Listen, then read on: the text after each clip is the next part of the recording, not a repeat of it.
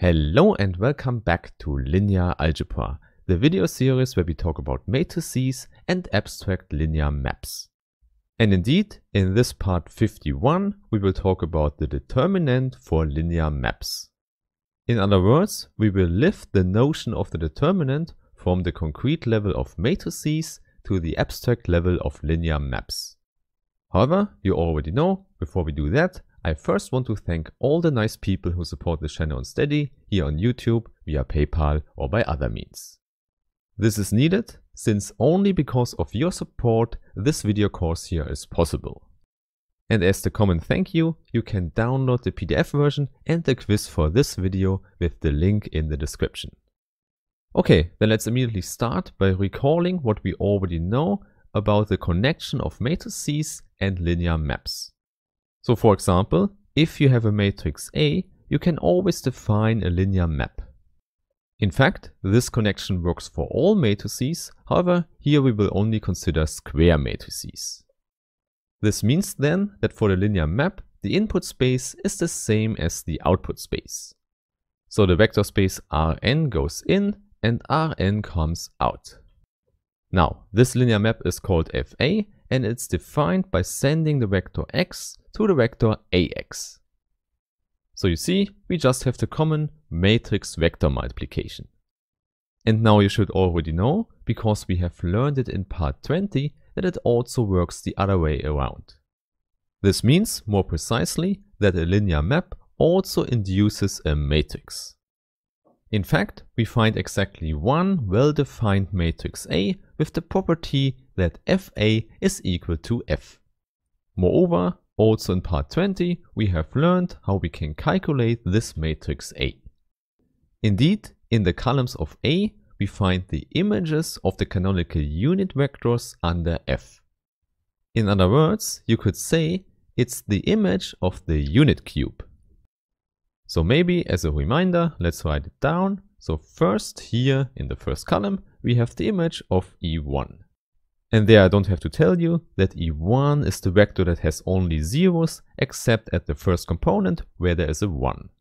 And then we continue this whole procedure with E2, E3 and so on until we have f of En in the end. So in fact, we see in this case we have a square matrix. Therefore, you should know at this point we can also bring the determinant into the game. For this, let's sketch the unit cube here on the left hand side. Of course, this should be the unit cube in Rn, but it's easier to visualize that only in R2. In particular, unit cube means that we find the canonical unit vectors here. So in the picture, we could say this is E1 and this is E2. And then you know, in general, we would have all the vectors here until En. However, in all cases, we know that the n-dimensional volume of the unit cube is exactly 1. And that's even the case if we put orientation to the volume as we have done it in the past. Okay, and now the linear map f acts on this unit cube. By definition, we know it sends vectors from Rn to vectors in Rn again. And since f is a linear map, we already know not a lot can happen, only stretching, rotating or reflecting.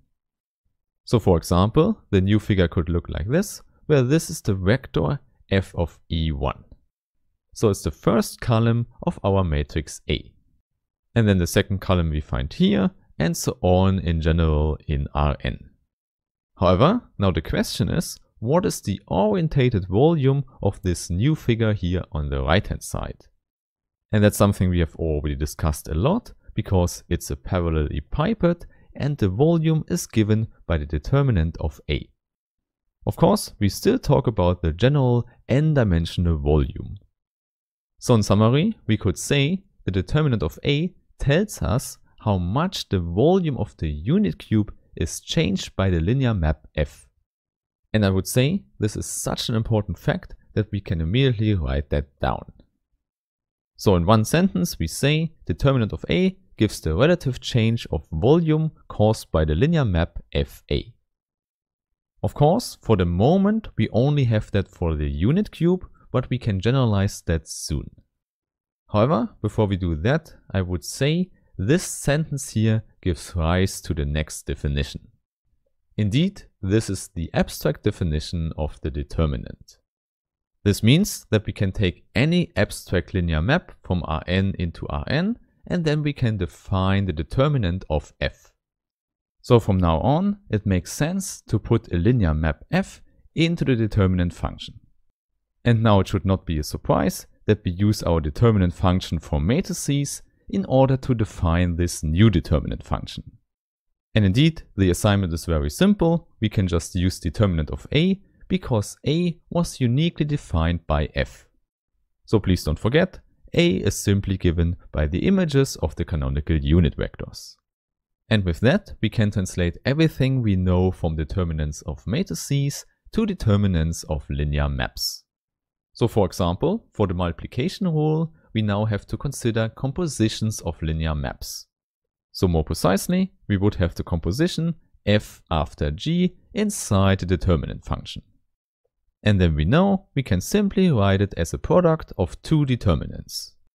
In fact, this follows immediately from the multiplication rule for the determinants of matrices. But now on this abstract level, this is also something we can use. Okay, then let's go back to the application because we already know that we can use the determinant to calculate volume changes. And indeed, it turns out that we can use that also for figures that are not the unit cube. So for example, we could consider a shape that looks like an F. However, of course, the question is not how it looks, but if we can define a well-defined n-dimensional volume for this figure.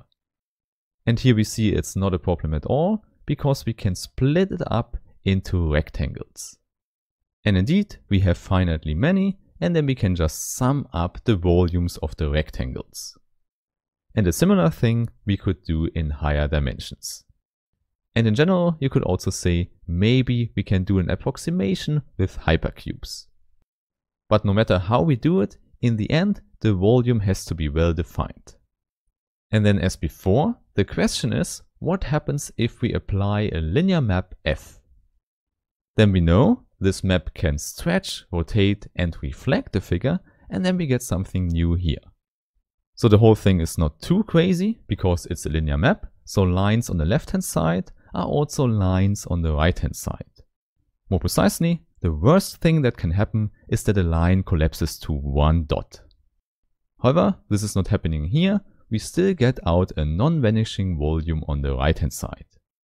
Okay, and now we can use that the linear map has the corresponding matrix A. And now the question is, how does the volume change from left to right? So let's call the whole volume on the left hand side simply vol of f, volume of the figure f. Okay, and now we already know from before that if we consider just one rectangle, it's scaled by the determinant of A. So in other words, each rectangle here on the right hand side has in volume one factor determinant of A. In other words, the volume of the whole figure is also scaled by the determinant of A. So therefore please remember here, the volume change is simply a factor. And indeed, in this factor, also the orientation change is included. And there you already know, this is simply given by the sign of the determinant. So in summary here, you should remember that the change of volume for a linear map is also a linear function. In fact, it's just scaling the volume function by a factor given by the determinant of A. This means, for example, if you have a determinant that is equal to 1, then the linear map does not change the volume, so it only rotates the figure. So there you should see the determinant is a very important concept also if you deal with very complicated figures in Rn. As long as you can define an n-dimensional volume of it, you can calculate the volume change under linear maps. Okay, and then I would say, let's close the topic of determinants in the next video. So I really hope that I see you there and have a nice day. Bye!